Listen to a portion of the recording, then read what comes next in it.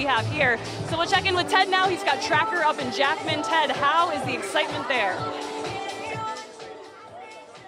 Uh, it is a wild scene, Colleen. We are here amongst at least 10,000 people. That's They've guessed between 400 and 600 cars on 201 arriving every hour, uh, and it feels like there's just more and more people coming in. Quite the buzz. A lot of people from all over. Ran into people from San Francisco, ran into people from uh, Brooklyn, ran into people from uh, the Canada. The, in fact, the Royal Canadian Astronomy Club is here across the way. They have all these telescopes. I guess I just didn't realize how many telescopes there are. I do want to pan over and show what what's going on right over here.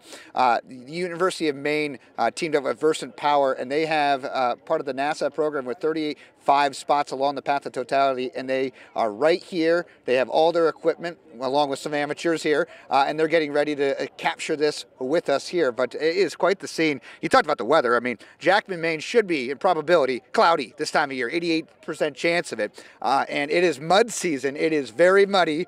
This is usually the slowest part of the season. The snowmobile trails are done. It's not hunting season. It's not quite the summer recreation, and it is packed to a point where you can't even move anymore. Uh, and and uh, they are definitely worried about the ride home because 201 is the only road in and out of town, and everybody will be leaving at the same time. That's what they don't want. They want people to hang out.